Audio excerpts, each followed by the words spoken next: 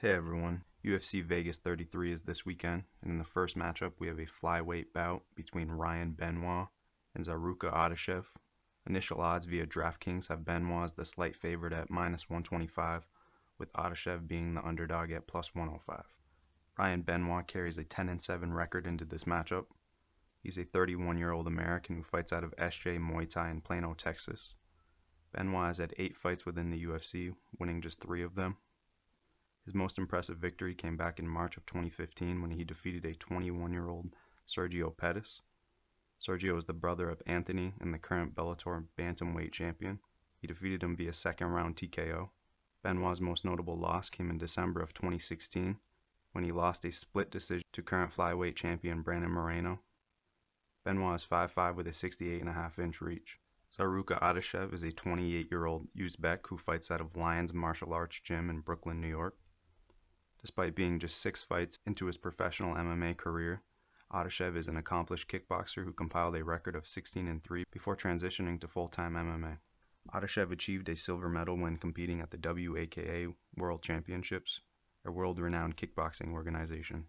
Here he fought up a weight class, weighing in at 59 kilograms, but fighting opponents up to 75 kilograms. Thus far, he is 0-2 in the UFC.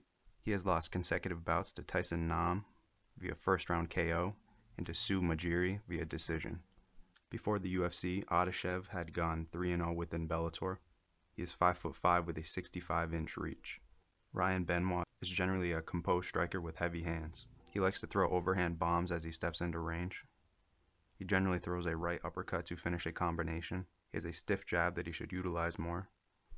Benoit is not afraid to throw heavy low leg kicks. He frequently chews up his opponent's legs as the fight progresses.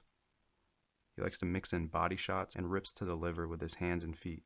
He will throw the occasional high kick. He has strong grappling skills and physical strength. Heavy ground and pound with devastating short elbow strikes.